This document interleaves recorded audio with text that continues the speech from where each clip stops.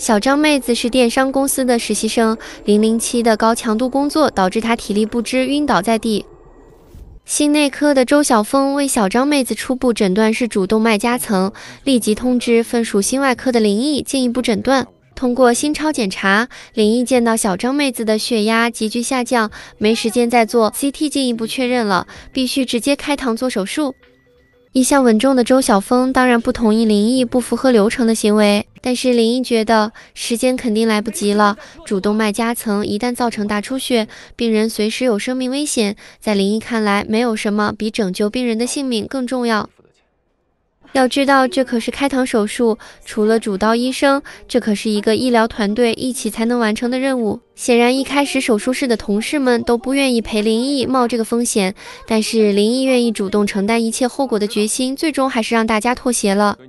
而在手术室外的周晓峰，着实为林毅捏一把汗。这种跳过医院诊治流程，直接开膛做手术的冲动行为，一旦造成无法挽回的后果，不但医院无法交代，林毅的职业生涯也就完蛋了。这部问心中，同为心脏中心，分属心内和心外的周晓峰和林毅矛盾再起，不按流程冒险手术救人，还是按医院流程，病人可能就活不下来。如果是你，又会如何抉择呢？没有明确证据就被开胸的。剧中的林毅做出了自己的选择，毕竟作为天赋型选手，林毅凭借娴熟的手法帮小张妹子止血，小张妹子血压渐渐恢复正常。但是就在这时，危机出现了。仪器显示，小张妹子的脑氧正在快速下降。如果不能在五分钟内完成分支吻合，大脑长时间缺氧就会造成不可逆的脑损伤。如今没做术前 CT，很难准确找到分支，而且原本需要十分钟的吻合术，如今却只有五分钟。林毅是在和死神赛跑。至于结果吗？林毅成功挽救了小张妹子的生命，但是换来的是全科医护人员被罚一个季度的奖金，而林毅则被停职等待处分，门诊不能上，手术也没得做，每天只能上上夜班。小张妹子这边多亏了林毅医生九死一生活了下来，但是又将面临一个新问题，因为还在实习阶段，公司没有给小张交社保和医保。现在对于倒在公司的小张妹子，公司只肯赔一万块，但是这根本就是杯水车薪。小张妹子的老公整天只知道埋怨自己老婆好不容易被救活了，他却只关心这次手术会不会影响生育。小张妹子拿出这些年存的五万块钱，老公却在算计花这么多钱治病划不划算。其实当初小张妹子的父母就反对她和如今的老公交往，但是小张妹子却被爱情冲昏了头脑，和父母闹僵，毅然跟着如今的老公来到大城市。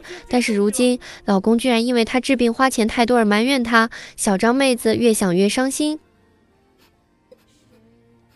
处于康复期的病人保持良好的心情很重要，更别说刚从鬼门关走一圈的小张妹子。果然，小张妹子突发咳嗽，伴随发烧。